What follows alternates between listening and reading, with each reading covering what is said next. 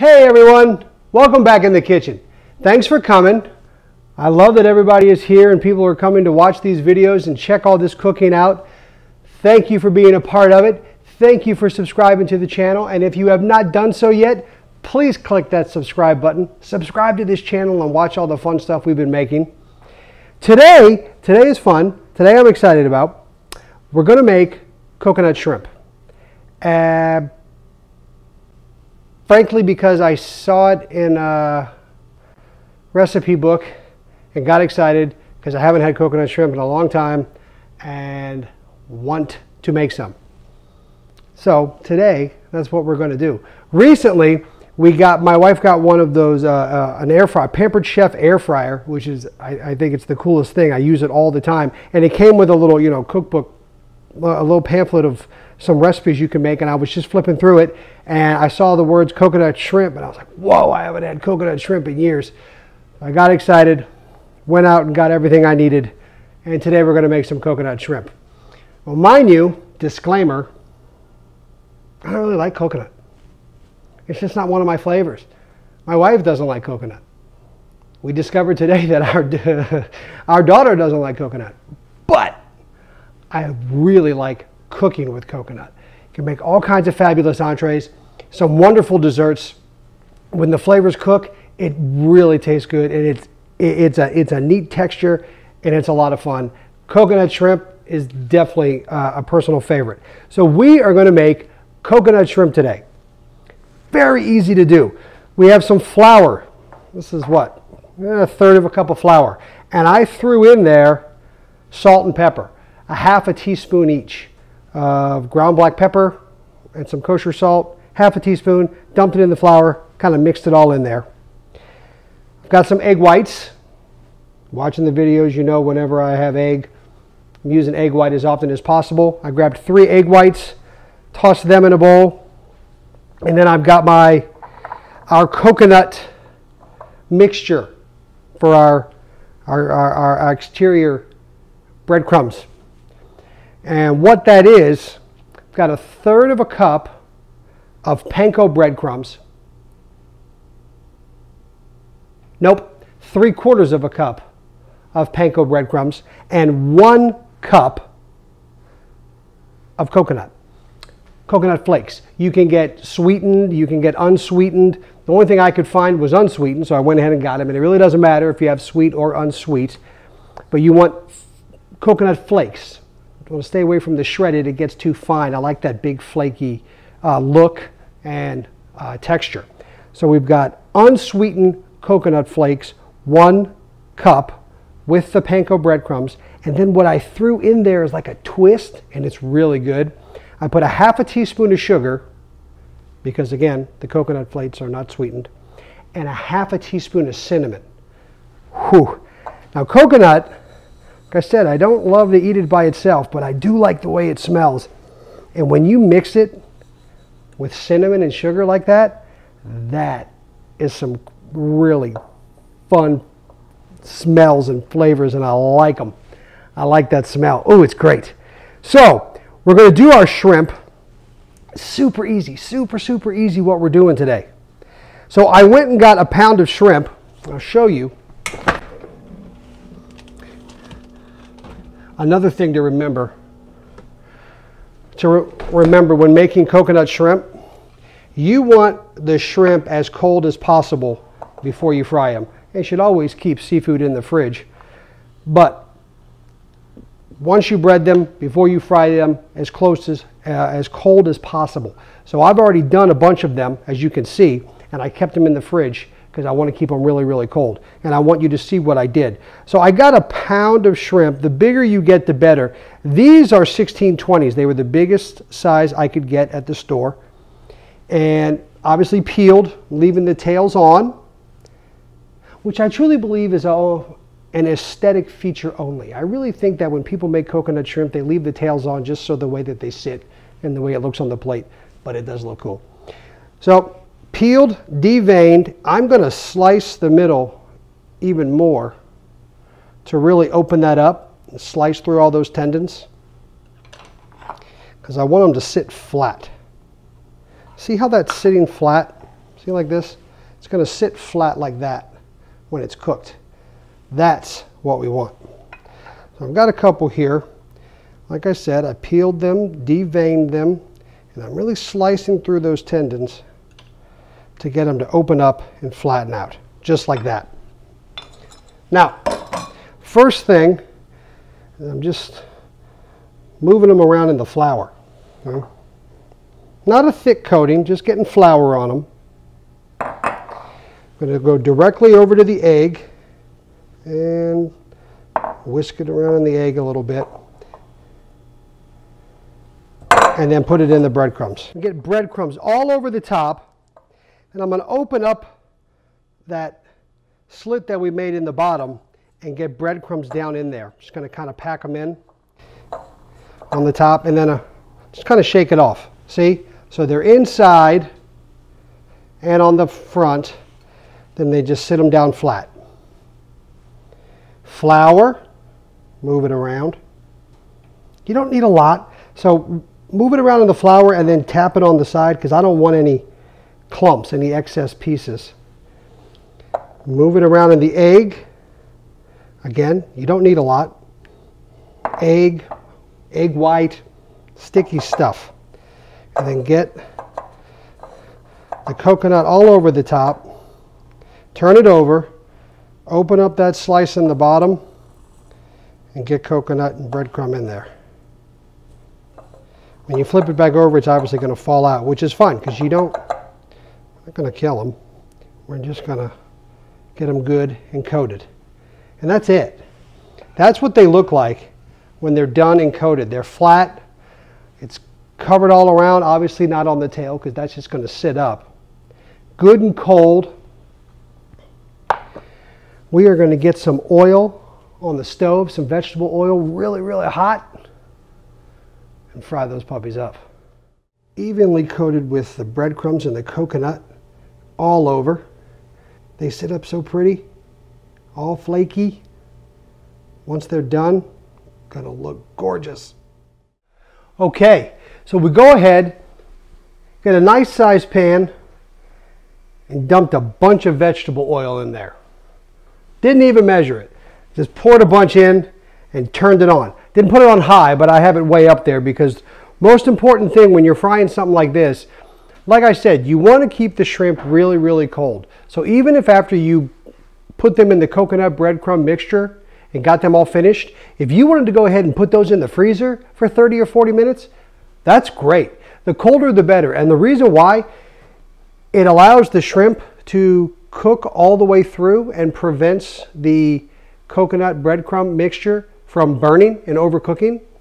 At the same time, the colder they are, the less chances there are of a lot of coconut flakes and stuff falling off because we don't want that to happen. On the flip side of that coin, hot oil. You don't want to take all those nicely breaded shrimp and put them in oil that's not hot because everything will just fall off and get mushy and be really, really yucky. We don't want that to happen. So I've turned the oil on. The easiest way to see if it's hot enough is to drop a couple pieces in and oh yeah, see, you see some sizzle start. You can hear it and everything starts to crackle. As soon as that happens, you know you've got good hot oil. I turned it down just a little bit because I don't want it to burn because that can happen.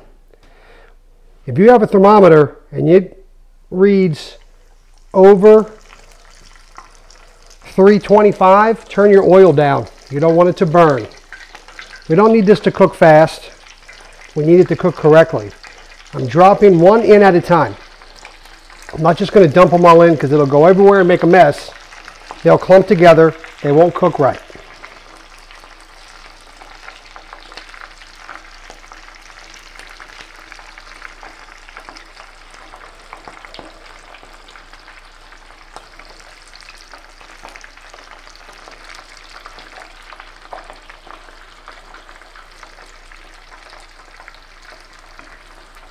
We'll let those get going.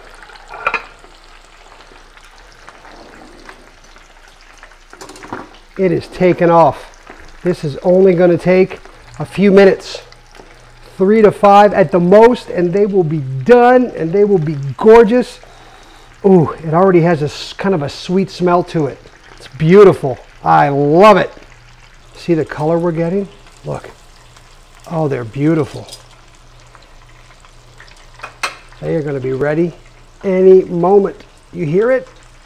And they are done. Look at that. Exactly four and a half minutes. And the most important thing you can do when you take these puppies out is remember number one, they're going to be really, really hot. And number two, they're going to be greasy. So put them down on a plate with paper towel and let it soak up the excess grease because we don't need it. We don't want it.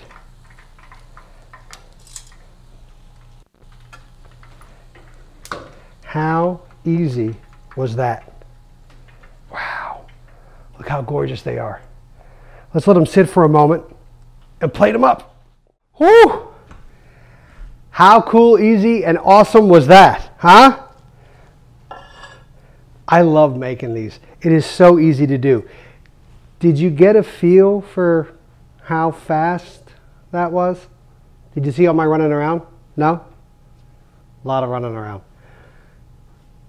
Very easy to make coconut shrimp, very fast to make coconut shrimp.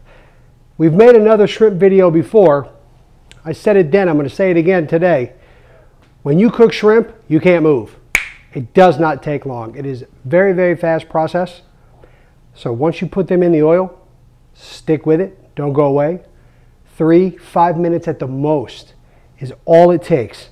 And they come out like this, a beautiful golden brown color.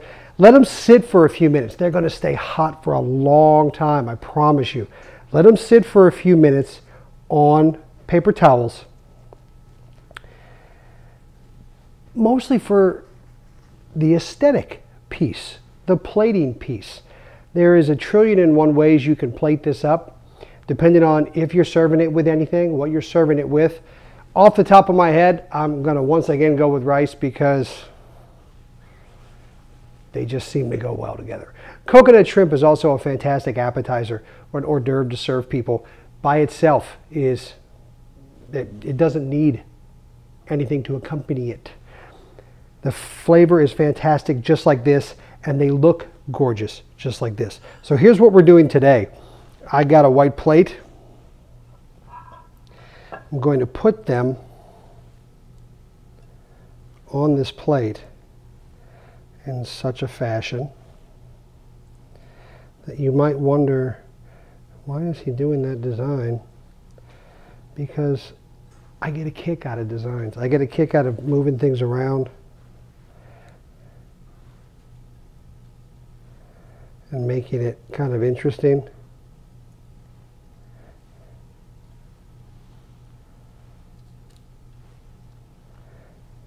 you see how pretty? They came out. Oh, I love it when it's like that. Boom. Keep the plate at an angle. So that would be served as an appetizer just by itself. Now what I want to throw on there today, because it's so good, this is a honey sriracha glaze. And it is that simple. It is a three to one ratio of honey and sriracha. Chai chili, uh, uh, Thai chili paste, Thai chili, Thai chili paste, sriracha, whatever you want to use. I have three tablespoons of honey to one tablespoon of sriracha. And that's it. That's all I did. But you, you got to whisk it really, really hard. If you want it spicier, put more sriracha, obviously. The one, the three to one ratio of the honey to sriracha, I think is a really, really nice flavor. It's, it's, it's still got some kick at the end, some bite to it, but it's not heavy. And you don't need a lot of this for the flavor and you don't need a lot of it for the plate. But again, if you just drizzle, you just drizzle it across, just gives it a couple of clumps like that. That design speaks volumes. Oh, I love coconut shrimp. And the last thing the last thing I want to do, because I just want to add one more thing. I want just a, believe it or not, just a tad bit more color. And just because it's fun, I'm going to throw some lemon zest on top. I don't know why. I like the colors. So I've got a, a little zester, a little grater here. Take a lemon, and I'm just going to rub it across the top just to get some flakes. Little color. It's got a nice, light, fragrant smell to it because it's fresh lemon. And just a couple of, a little bit of zest. Voila. You see the color? See the dots from the sriracha? Now, admittedly, you don't see much yellow in there. It's more about the fragrance and the little specks that make the plate so pretty when it comes out like that. And that's it. I don't think anything else needs to be done or said. Those are some beautiful shrimp. I hope you try this. I know I say that every week, but I do. I hope you try this stuff because it's fun to do, it's fun to make, it's fun to think of and create, and I hope you come up with your own variations of them. And when you do, send me a comment. Let me know how it goes. Throw a comment below. Too easy, too hard, too fast. Added this, took out that. I love all that stuff. Again, please subscribe to the channel if you have not done so. Hit the bell, get your notifications turned on so you know when the videos show up. Wednesdays and Sundays, that's what we're after at the moment. But you never know, so make sure you turn on your notifications. Give the video a thumbs up, please, and thank you so very much. Share it with all your friends. Look forward to seeing you in a few days. Enjoy those shrimp. Take care, folks. Bye-bye.